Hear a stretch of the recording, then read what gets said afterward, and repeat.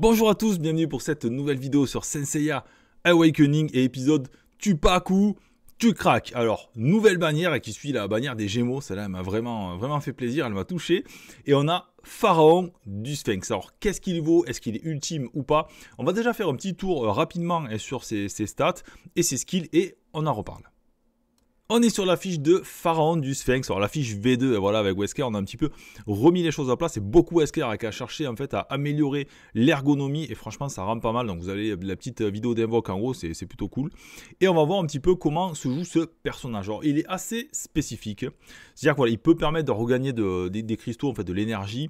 Et il combote particulièrement bien avec les joueurs de musique. Alors bon, il n'y en a pas non plus énormément, un joueur de musique, mais bon, vous avez déjà Orphée. Pandore, Sorrento, ça fait déjà 3. Je sais même plus s'il y en a, d'autres par rapport à ces trois-là, ou alors que je ne vois pas du tout.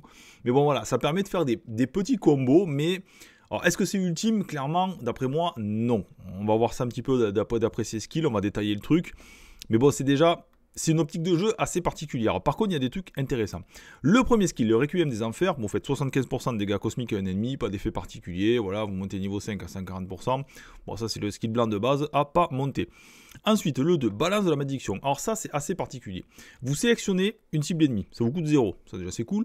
S'il n'a pas agi, ça fait rien. Voilà, donc vous avez bien compris, hein, la, base, il ne faut pas sélectionner quelqu'un qui n'a pas agi. Il faut forcément sélectionner quelqu'un qui a agi et qui a dépensé de l'énergie. Parce que si le gars a agi et qu'il a dépensé de l'énergie, donc il va falloir faire gaffe à vos vitesses, il reçoit 200% de dégâts. C'est pas mal, c'est pas ultime, mais c'est pas mal. Et vous regagnez autant de cristaux que la valeur dépensée par la cible, jusqu'à un maximum de 3. Alors ça, par contre, c'est intéressant. Au niveau des dégâts, euh, même au niveau 5, c'est 450%. C'est pas mal hein, pour, un, pour skill qui coûte 0. En plus, ça peut être, ça peut être cool. Mais bon, c'est pas l'effet principal, c'est le fait vraiment de regagner les cristaux. C'est pas les dégâts en soi qui vont être monstrueux, euh, Pharaon. Pour moi, ça reste un DPS euh, en, termes purs, surtout que ça va coûter quand même cher d'arriver jusqu'à ce niveau-là. Par contre, le, fait de gagner de l'énergie, ça c'est énorme et ça peut s'utiliser assez facilement. Il suffit que vous, votre vitesse soit pas trop élevée, vous pouvez le faire sur pas mal bah, d'ennemis. Il faut aussi comboter, voir que bah, pas être en dernier, parce que si vous êtes trop loin par rapport aux autres chevaliers, euh, que vous récupérez l'énergie, il faut pouvoir aussi l'utiliser, sinon ça sert à rien. Mais il y, a pas mal de petits combos à faire avec lui. Il va, il va falloir négocier vraiment euh, le caler avec une compo chez vous euh, qui, se, enfin, qui bien avec lui, et par rapport aux vitesses aussi que vous soyez bien calé. Les vitesses vont vraiment être importantes avec ce, personnage. Ensuite, on arrive le skill 3. Baiser du désespoir. Alors, vous lancez une attaque de zone sur tous les ennemis qui causent 100% de dégâts cosmiques. Ça, c'est pareil, c'est pas fou, 100%, c'est pas un truc de, malade. 50% hein. de chance d'appliquer l'effet entrave. Donc, entrave, vous voyez la petite, euh, petite vignette, a une chance de recevoir des dégâts supplémentaires et d'infliger des dégâts réduits. Donc, vous, vous infligez plus de dégâts sur ces cibles-là, et par contre, lui, il en inflige moins. Donc c'est pas mal parce que ça permet de, ben, quelque part, un peu contrôler, débuffer l'ennemi, on va dire, hein, dans le sens où vous tapez plus fort dessus et lui tape moins fort. Donc ça, c'est toujours, euh, toujours bon à prendre. Maintenant, ça coûte 2, c'est quand même pas donné. Et c'est 50% de chance d'appliquer l'effet. Bon, c'est pas énorme. Par contre, une fois que vous le montez, là vous arrivez niveau 5, donc 220% de dégâts ça reste euh, correct, hein, c'est pas pareil, c'est pas monstrueux en termes de, DPS, mais ça commence à faire un petit peu mal. Et surtout, vous avez 100% de chance d'appliquer l'effet entrave. Donc ça c'est cool. Et surtout, regardez là, 25%. Donc là, il prend 25% de dégâts en plus et il en inflige 25% en moins. Donc là, par contre, ça devient intéressant. Ça devient vraiment un gros debuff en fait. Hein. Donc là, à partir du niveau 5, même au niveau 4 déjà, ça commence à être pas mal, mais niveau 5, c'est vraiment, vraiment intéressant. On arrive sur le skill 4 qui a été un petit peu modifié d'ailleurs. Je vais faire la modifier ensuite hein, sur le site.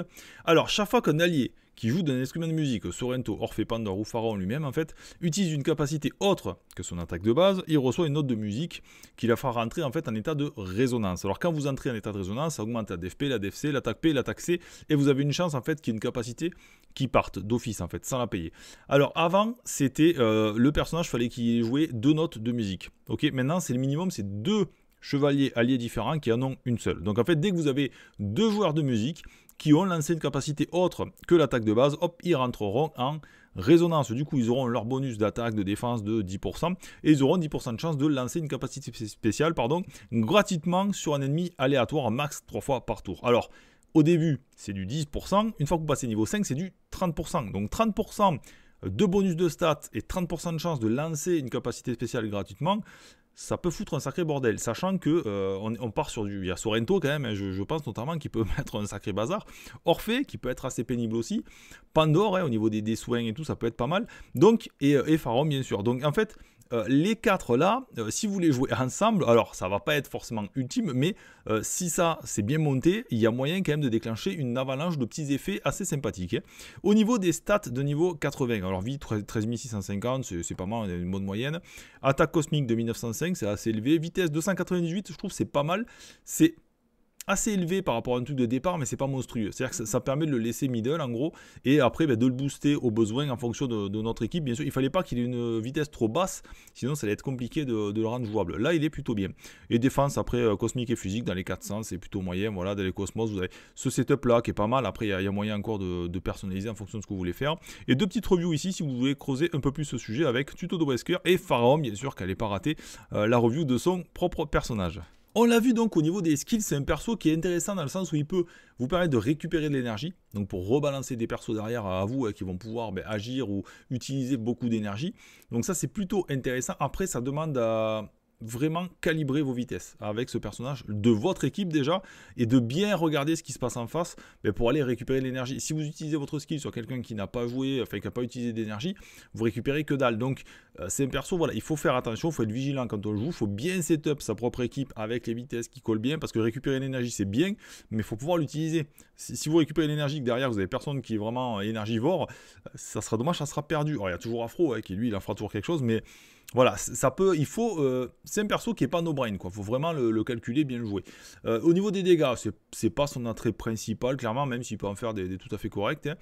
Et par contre, euh, le côté debuff, moi c'est vraiment le skill que je trouve le plus violent, c'est le debuff. Parce que le debuff, une fois que vous l'avez niveau 5, il faut vraiment le monter haut quand même, au, moins 4, débuffer toute équipe adverse qui fait 25% de dégâts en moins et qui prend 25 en plus, ça c'est fort. Franchement, c'est violent. Et surtout, bah, ça coûte 2, c'est quand même cher, mais c'est vraiment énorme. Et le dernier skill avait la résonance. Ça, c'est un petit bonus. Alors, c'est bête parce que ça va marcher à partir du moment où vous avez au moins un autre musicien avec vous. Si vous êtes tout seul, ça ne marchera pas. Donc, ça le rend un peu spécifique euh, vraiment dans les teams, euh, dans les teams spéciales, on va dire, musiciens. Mais bon, c'est vrai que ça peut être intéressant à jouer le, le, full musicien. Euh, est-ce que ça va être monstrueux? Je pense pas que ce soit un truc hyper hyper efficace. Mais en tout cas, ça peut être fun. Parce que franchement, des, des Sorrento qui déclenchent leurs effets et tout ça, ou la, la Pandore qui va balancer du soin dans tous les sens, honnêtement, ça me donne envie d'essayer. Maintenant, ça demande quand même de monter ces personnages-là à assez gros niveau si vous voulez vous amuser avec un GD. Donc encore une fois, c'est compliqué de monter plusieurs persos. Surtout que Orphée euh, il n'est pas trop joué, hein. en tout cas en GD, il y, a, peu de monde qui s'amusait à, le monter. Euh, il y a euh, Sorrento, on s'est beaucoup, foutu de lui en fait, et pendant longtemps. même après son RC, malheureusement, il, a été un peu joué, mais pas énorme. Donc je pense pas qu'il y ait énormément de gens qui aient les, trois montés dans leur box en fait. C'est ce qui rend le, combo un peu, un peu difficile et vous le verrez pas souvent, je pense. Conclusion, le perso, il arrive là, il est là pour une semaine. Il rejoindra le pool de base à l'issue de son tirage de sa bannière. Euh, tu pars ou tu craques, clairement, je pense qu'il faut paquer. Parce que c'est pas un perso euh, énorme. Hein, vraiment, il n'est pas game breaking complet. Il peut être intéressant, encore une fois, je vous dis, son debuff peut vraiment être bien. Donc, s'il s'intègre bien une équipe à laquelle vous pensez par rapport à votre mécanique, les énergies et tout, pourquoi pas le chercher Mais euh, attention, il va pas aller dans toutes les équipes et il va pas avoir des résultats de fou dans toutes les équipes. Donc, c'est un perso spécifique. Derrière, on va avoir Chion Surplis qui va arriver, qui peut être très sympa. Et bien sûr, le Chevalier de la Vierge de Next Dimension, euh, qui est encore en, état de retouche et qui peut être assez violent aussi. Donc derrière, il y a potentiellement déjà Chion Surplis est vraiment pas mal. Donc euh, déjà, c'est un perso qui est intéressant. Alors plus intéressant euh, que, lui. non, parce que Pharaon c'est un perso qui est bien aussi, mais qui a une mécanique particulière. Chion sera peut-être un peu plus polyvalent, on va dire. Et Shijima, pareil, peut être très violent. En tout cas, sur le papier, actuellement, il est très violent. Donc, à voir comment euh, ça va évoluer derrière. On a deux persos qui pour moi sont plus intéressants, en tout cas plus polyvalents, s'intègrent mieux à plus d'équipes que Pharaon qui a un rôle qui peut être cool, mais qui va être très spécifique. À titre personnel, je n'irai pas le chercher, j'ai craqué mon slip les deux fois d'avant, donc là je suis en train de refaire les coutures, essayer de me repréparer pour le Lucky Cat, histoire d'être plutôt pas mal. Pour l'instant, j'aime, je, je, suis pas top. Donc voilà, je verrai après, est-ce que je vais être hyper hypé par les prochains persos, que ce soit Shion Surpli ou Shijima, je trouve sympa, mais je suis pas je suis pas hyper hype non plus quoi. Donc je, vais voir. Est-ce que je garde ou pas pour les prochains Je sais pas du tout. En tout cas, ce perso là, il est stylé, il est bien. Et c'est pareil, si ça vous dit de le jouer, si vous, il vous intéresse, et eh ben allez le chercher. Moi, j'ai beau donner mon avis, c'est que mon avis, encore une fois. Hein, voilà. Je, je, moi, suis pas un joueur hyper compétitif. Si vraiment vous voulez savoir son utilité en GD et compagnie à haut niveau, ben à ce moment-là, il faut plutôt aller voir vers des joueurs qui eux parlent vraiment de gros contenus ou qui investissent pas mal de cash aussi dans le jeu pour être compétitif. Mais le but, enfin moi clairement, je donne mon avis, mais je pense que il faut garder à l'esprit que c'est un jeu et que si un perso vous plaît, eh ben, allez le chercher. Voilà. Maintenant, euh, il ne faut pas chercher à être toujours euh, hyper optimisé, en tout cas pas si ça nuit en fait au plaisir du jeu. Parce qu'un jeu, c'est quand même le but, c'est de se faire plaisir. Et, euh, si on est toujours dans la retenue et toujours dans le contrôle de, tout et d'optimisation de tout, au final, on perd goût au jeu. Et c'est pour ça qu'il y en a beaucoup d'après qui sont blasés du jeu et voilà, qui, développent une haine en fait viscérale envers le jeu. Alors que c'est pas, c'est clairement pas le but. Petite parenthèse avant de finir quand même, carton rouge hein, pour GTA 4 parce que ben, le, Black Friday, euh, honnêtement, euh, malheureusement, j'ai envie de dire navrant comme d'habitude parce que euh, ça fait un moment qu'ils exploitent le jeu, ça fait un moment qu'ils ont des bugs et à chaque fois qu'ils font des événements comme ça un peu particuliers, ça chie dans la colle. C'est systématique. Je veux dire, les mecs, ils ne peuvent pas arriver à faire un truc qui fonctionne correctement. Sachant qu'en plus, là, ça part sur des mauvaises intentions. C'est vraiment c'est pour maximiser les bénéfices. Il y a une histoire de campagne avec. Alors, je rentre pas dans tout ce qui est drama derrière SSA volontairement, hein, parce que je, préfère euh, préserver mon intégrité mentale de, tout ça, même si je regarde. je lis quand même, mais en, termes de, de vidéos YouTube, en tout cas, c'est pas le contenu que je veux, proposer. Donc, je préfère esquiver tout ce qui est drama, même si je suis et je sais qu'il se passe des, choses un peu euh, derrière. Il y a des choses qui m'intéressent plus que d'autres. Hein. Mais voilà euh, Yu a fait une vidéo où il en parle pas mal de, tout ce côté-là sur, le Black Friday et je trouve que c'est navrant que euh, arriver à ce moment du jeu, je veux dire, ça fait longtemps que, le jeu est en place, ça fait longtemps qu'il le gère quand même. Putain, ne pas arriver à faire un événement euh, normal qui se passe bien sans avoir de, problème, je trouve ça quand même grave. Et en plus, la façon de faire a été particulièrement, là, je trouve, euh, malsaine dans le sens où il y a vraiment une tentative de gagner de l'argent à, outrance qui est franchement pas cool. Sur ce, on va finir sur une note positive et bien sûr, bonne chance à tous ceux qui vont aller chercher ce personnage, que ce soit pour jouer en GD, que ce soit pour jouer pour le fun. Voilà, l'important c'est de prendre du plaisir. bonne chance à tous et je vous dis à bientôt pour la prochaine vidéo. Ciao